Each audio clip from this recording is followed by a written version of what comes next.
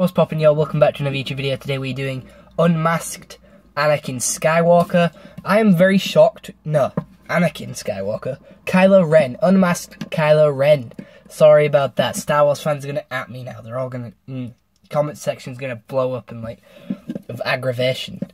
But yeah, here is um Kylo Ren. You can get this from... This is all Kylo Ren, but you can get this from the mi Micro Fighter. Uh, very cheap. But then when you put this hair on, it is curls from Lego Ninjago movie and onwards. Um, it everybody uses this online for like stop motions and photos of Anakin Skywalker without hair.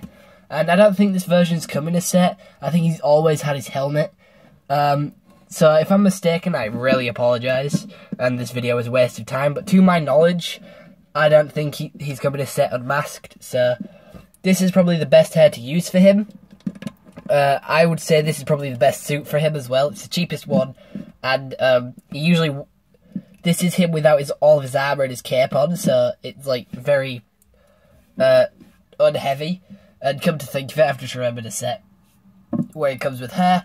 So this video is pointless, but I'm already filming, so might as well upload it. I apologise to all the LEGO Star Wars fans who are going to absolutely annihilate the comments even further now. Uh, he did come in that dual set, which came with and that's a very cheap set to get. But if you don't want to buy that set and you want to go the hard way about it, this is probably the way to go. Um, it is a different figure. Um, I should really stop the video now. I've just realised it's pointless. But content, running out of ideas. This was so pointless. I feel really stupid now.